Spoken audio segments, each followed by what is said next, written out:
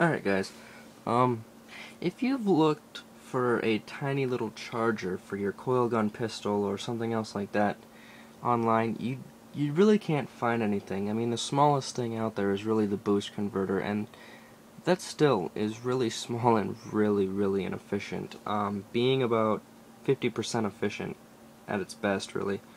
Um, it's not really that great. So what I did was I came along and I did this. I uh, built a tiny little ZVS capacitor charger out of really common components. Um, I took apart this uh, old monitor here um, for the flyback core. And um, inside were a couple of IRF 630A tran uh, MOSFETs and also the bunch of these little uh, tiny transformers. Uh, so I took one of these transformers apart and I rewound it with about 260 turns um, of 34 gauge wire and then I put uh, a 14 turn center tapped primary out of 26 gauge wire on there um, also an inductor I pulled out of there um, is it's right there um, it a 1 microfarad capacitor uh, rated at 250 volts. I actually bought that at Radio Shack so but uh, then your 12 volt zeners your fast diodes um, your 10k resistors then um, I changed the resistor values here so I didn't have to use, so I could use quarter watt resistors. And those are 560 ohm resistors. Um, then we have two pull down diodes there, which connect out to here. One's connected to the diodes and the other one's connected to ground. So you just short those out to basically stop the charger from charging.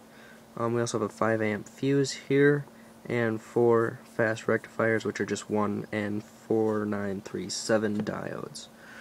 It's all hooked up to my 2600 microfarad capacitor bank.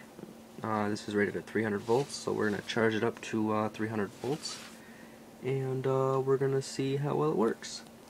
So um, now running off this 18 volt drill battery, um, I'm getting approximately 7.5 watts of charging power.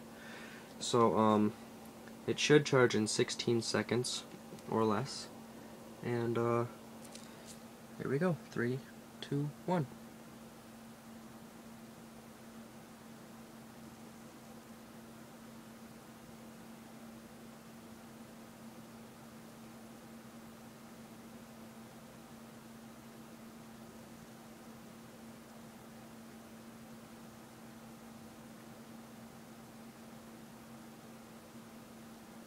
Alright, there we go.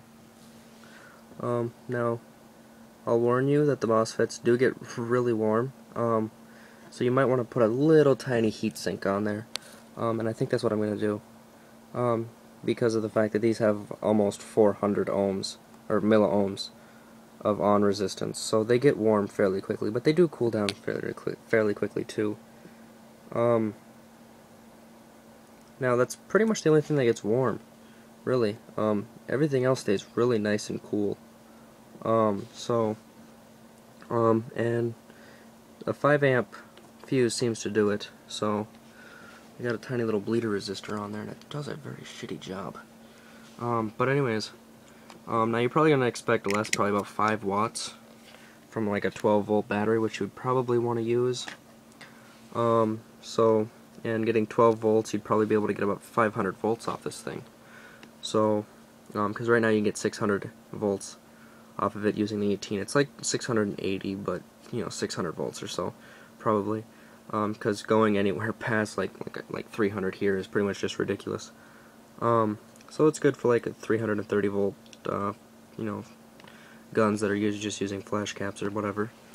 Um, now, what's really surprising is it's really small. Like, it would fit in the palm of my hand. I'm not going to actually put it in there because there's parts on here that do have the live voltage on them, and I, I'd get zapped, which hurts like a bitch. Um, but as you can see, it's really simple. Um, almost no wires on the bottom. There's only a couple to run from the capacitor to the drains, and then power. Um, and then there's one that runs right there, the blue one, or the gray, the brown one that runs across the circuit there. That's just to connect the diodes. That black one's to connect the output there. Um, but yeah, basically that's it. I mean, that's really all there is to it, so. But I hope you guys enjoyed the video, and uh, I'll see you in the next one. Peace out, guys.